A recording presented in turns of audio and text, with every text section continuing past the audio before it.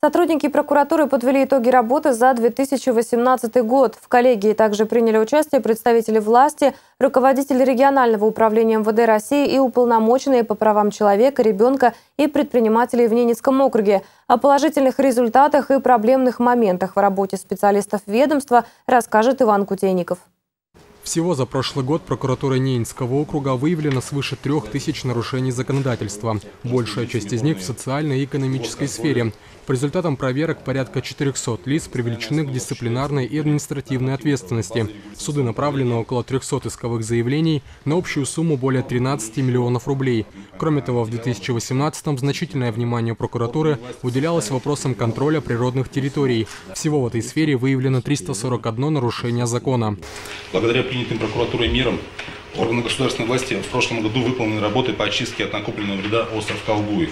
Недропользователями планируется завершить рекультивацию месторождений на острове. По исковым заявлениям прокурора проведена работа по установлению и описанию границ водоохранной зоны и прибрежной защитной полосы семи озер, расположенных на территории города Нарянмара и поселка Искателей. Органами власти и местного самоуправления ликвидировано более 14 несанкционированных мест размещения отходов. Сотрудники ведомства отмечают, что по итогам прошлого года в регионе зафиксирован общий рост преступности на 10%. Тем не менее, произошло снижение количества особо тяжких преступлений на треть. Благодаря регулярной профилактической и разъяснительной работе, проводимой с населением, снизилось и число мошенничеств, в особенности телефонных, но значительно возросло количество краж, грабежей и вымогательств. Особо пугающей выглядит статистика преступлений с участием подростков. В совершении краж и грабежей вовлекаются несовершеннолетние, а число совершенных ими таких преступлений увеличилось почти втрое. Однако наиболее, наибольшее опасение вызывает общая картина преступности несовершеннолетних. В прошедшем году учтенных преступлений, совершенных подростками, возросло практически, практически вдвое, с 27 до 51. А количество административных дел, рассмотренных комиссией по делам, по делам несовершеннолетних, увеличилось более чем на 30%.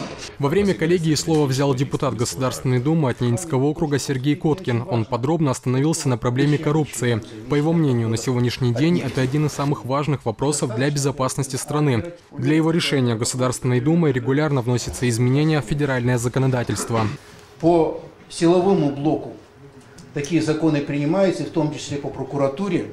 Мы существенно дали дополнительные полномочия органам прокуратуры по социальной поддержке, материальной поддержке. Сейчас по заработной плате идет подробное обсуждение. Вы в лице своего депутата от вашего округа, я думаю, что в этом плане найдете, безусловно, поддержку. Но и внесли в первом чтении, в прошлом месяце, месяце мы ужесточили требования к прохождению службы сотрудников прокуратуры тот перечень оснований, по которым они могут уволены, тоже будет расширен. Прокурор Ненецкого округа Николай Егоров отметил, что действительно большинство преступлений в регионе связаны с экономической направленностью, но большая часть из них не имели резонансного характера, а суммы ущерба в целом незначительные. У нас есть эти проблемные вопросы, связанные с э, использованием бюджетных средств на э, строительство. И э, мы все знаем эту ситуацию сейчас с важными государственными контрактами долевое участие э, округа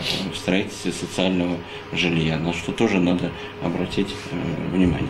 В ходе коллегии сотрудники ведомства отметили необходимость усиления контроля за медицинскими учреждениями, ведь 2019 объявлен в Ненецком округе годом здоровья. Важно следить за эффективностью государственных программ, а также законностью расходования бюджетных средств в сфере здравоохранения. Результатом такой работы должно стать повышение доступности и качества оказания медицинской помощи населению региона. Иван Кутейников, Игорь Тарасевич, телеканал «Север».